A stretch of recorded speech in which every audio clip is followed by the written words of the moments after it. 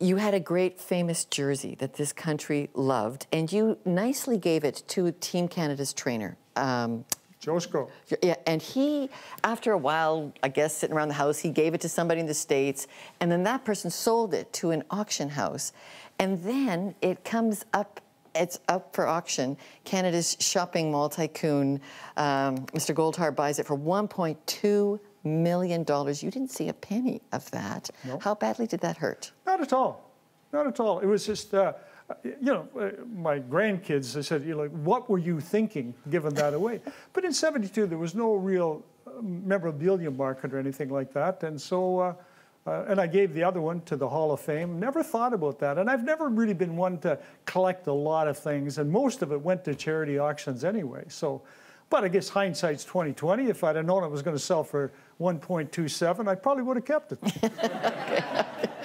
So, but a year ago, then you did tour with that sweater. Yeah, I did. Great yeah, time. Mitch's Road Show, and you went to 104 towns and cities. What did you learn about our country and the game? Well, I did. They went to 105. I went to 24 of them. Oh, okay. Uh, right. But it's, uh, well, we wrote that book last year, How Hockey Defines Canada. Jim Prime and I wrote that book. And it really is, I really believe hockey is in the DNA of Canadians. And it's really interesting.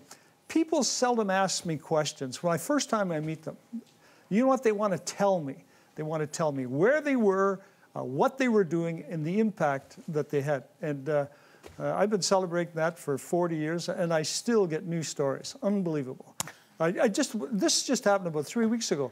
A, a, a girl come up to me and said, "You killed my grandfather." Wow. You know.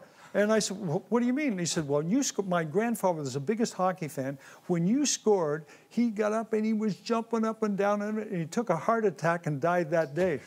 But he said, he said he went out a happy man. He was, he wasn't young, but.